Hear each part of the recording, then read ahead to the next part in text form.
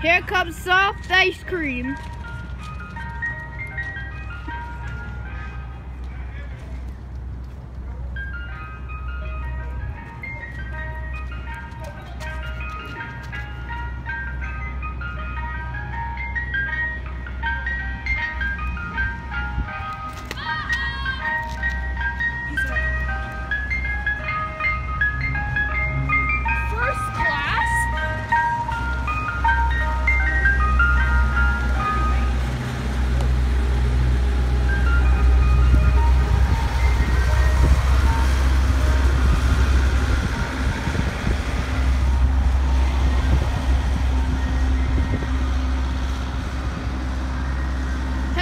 Guys, it's the new soft ice cream. I've never seen this before.